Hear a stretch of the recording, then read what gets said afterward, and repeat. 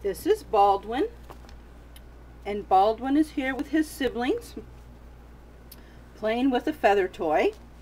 He is up for adoption through STAAR, second time around animal rescue. He was born February 2nd, 2012. So he's a little bit over, he's about five months of age.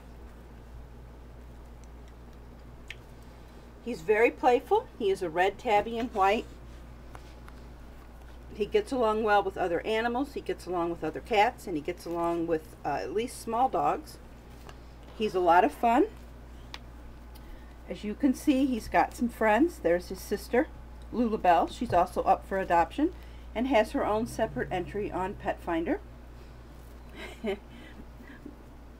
Baldwin is very playful.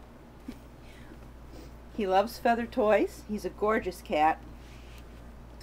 And he would make a wonderful addition to your family.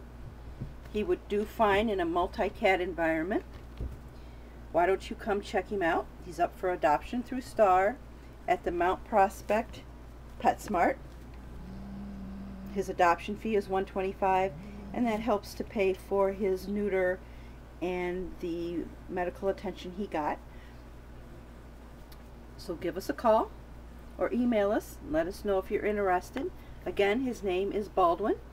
He's around five months of age and he's up through adoption through STAAR.